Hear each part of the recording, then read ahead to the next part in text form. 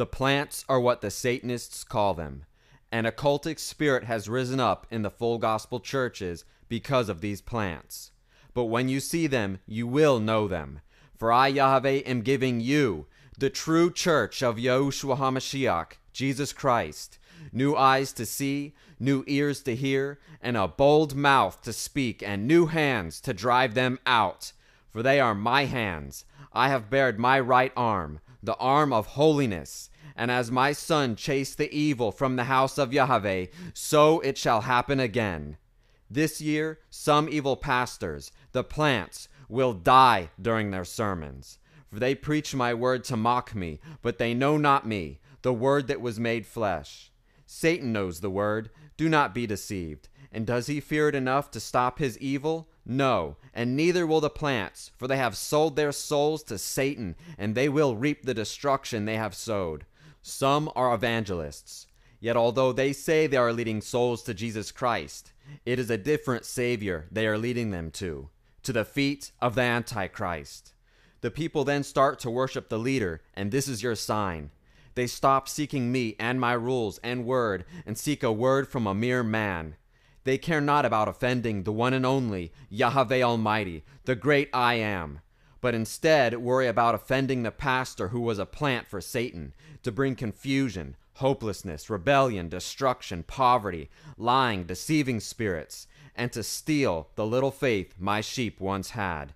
When they fall under the power while the plant is praying for them, they fall not at Yahushua's feet, but at the feet of the Antichrist, and they don't even understand. They were seeking me, and yet a mind control spirit has them finding another shepherd, the evil shepherd that tortures his sheep and slaughters them, knowing that they will join the plants as they are offered up to Satan as a sacrifice. This may sound foreign to some, but it happens in Assembly of God churches and Pentecostal churches and in all mainline churches.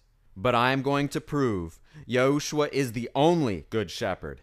And this year I am coming to rescue my sheep, to chase the wolves out of my churches, and I will use you to do it. As I have poured forth my living water and new wine, Satan has poured out the counterfeit, the vinegar that I refused, the spirit of lukewarmness to have a form of godliness, but no godliness within. I grieve for my children and my elect that are deceived. I am a God full of mercy for those that are mine, but because they are led astray by itching ears to hear only that which they want to hear, they have been led to slaughter. I am raising up a mighty Gideon's army to take back my sheep with a new anointing. Some of you have already noticed. As you read these prophecies, the gifts I have given you will stir one another's Ruach HaKodesh's gifts up to a high degree. Now, those who have intellectual and logical spirits, this will be like the old wine and the new wine trying to mix. This gospel of Yahushua is so simple that even a baby can understand how to get saved. Don't complicate what I have purposely made simple. The reason being is, I never intended hell to be for human beings. It was created for Satan and his fallen angels. I made a way out for you. He is the only way out, the only truth, life, and way to heaven and into my waiting arms, where I have longed to gather you, as a mother hen gathers their chicks. I don't want any to perish or be damned. Please warn them. Sound the trumpet blast with the anointing I have given you.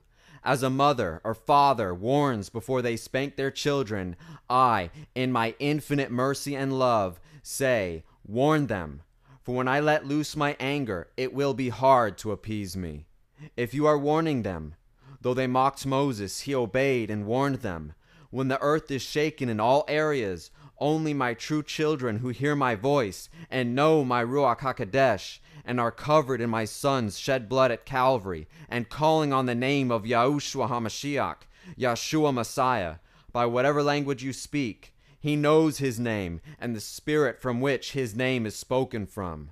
Only these shall be saved.